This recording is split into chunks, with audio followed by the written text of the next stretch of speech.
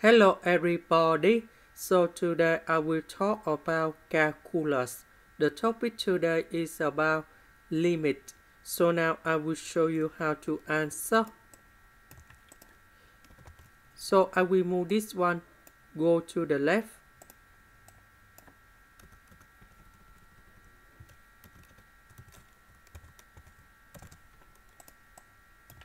Next, I will do factorization in here with x. So we have x multiplied by x squared plus y squared. This one I will do factorization with negative y.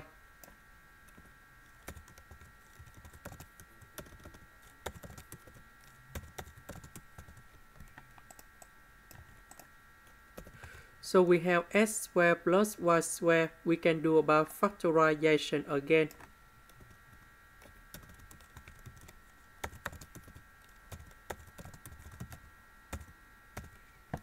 So this one divided by this one. And we have x minus y. So we put number 0 in here. And we have 0. This is the end. Thank you for watching.